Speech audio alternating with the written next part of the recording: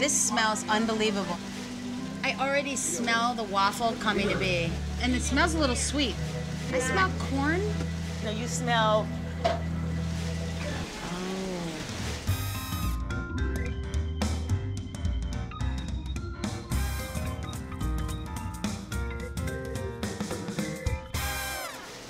Much chicken do you go through? Oh my God. Maybe like 50 to 60 cases of chicken a week. We make the baked chicken, we make jerk chicken, we make barbecue chicken, and we make chicken chicken.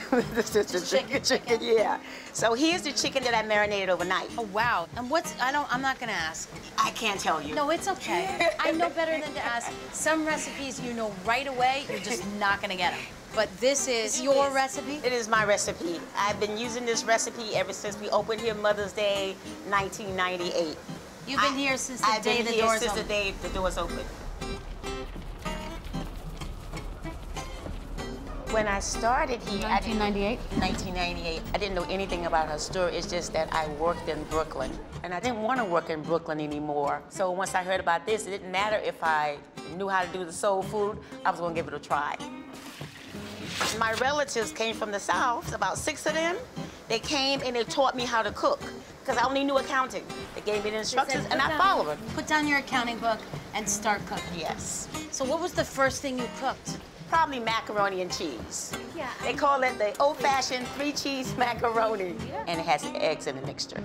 That's really unusual. Why do you put that in there? What to make it come together, make it bind together like love and a family. Everything is family and love. A lot of people have said I cooked it with love, and I think. but you said it, and I believe it, and I can taste it. This is just about finished. So while it's cooking off, what would you like to have with the chicken? I want you to give me the chicken the way I should eat it properly. I'm gonna let you try the waffle. Have you had our waffles? Nope. Okay, we make the best waffle. I love it. There is a super secret ingredient here that is literally making it smell intoxicatingly good in here. I'm smelling chicken frying in the background, getting all golden brown, and then this waffle batter with a mystery ingredient. I'm not telling them. Thank you so much. They have to come here. You could come here and I'll, I'll make it for you. I like it. Request permission to dive in. Yes, you have permission. There's so much flavor.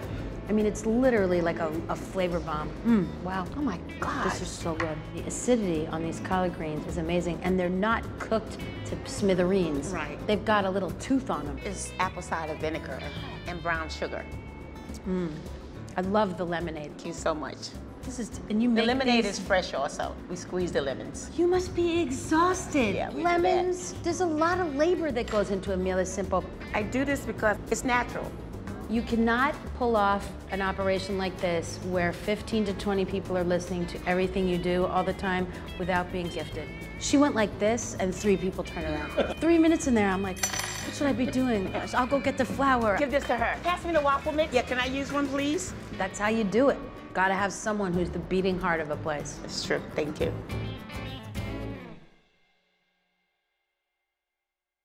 Sister Jannette is a force to be reckoned with in the kitchen. Click the links for more great food stories and the people making it happen. And don't forget to subscribe.